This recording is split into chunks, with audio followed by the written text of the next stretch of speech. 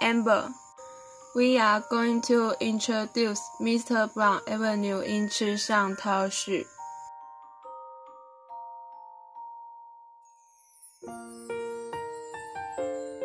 Mr. Brown Avenue Street Road was originally the way for farmers to enter the farmland. Later, because Mr. Brown coffee was shot here, it was called Mr. Brown Avenue, Since there are no wire poles along the way, there are no buildings. There are only endless green rice fields swinging in the wind. Therefore, many people are attracted to come to take pictures and experience the purity of the countryside.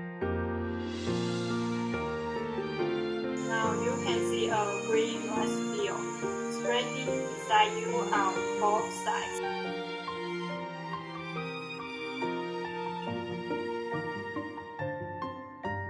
Then you can see a large paddy field experience as sport in the autumn harvest season.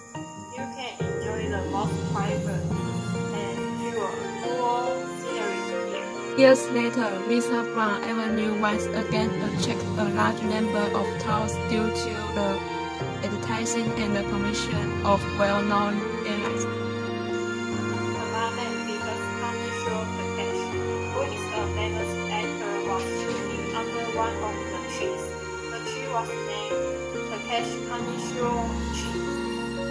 Mr. Brown Avenue also became a famous tourist attraction.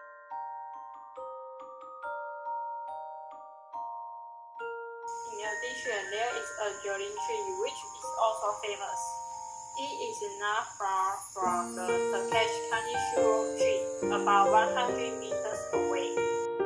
In addition to Mr. Brown Avenue, there is Reading Road nearby named Heaven Road. It is also famous for shooting advertisements by well-known airlines.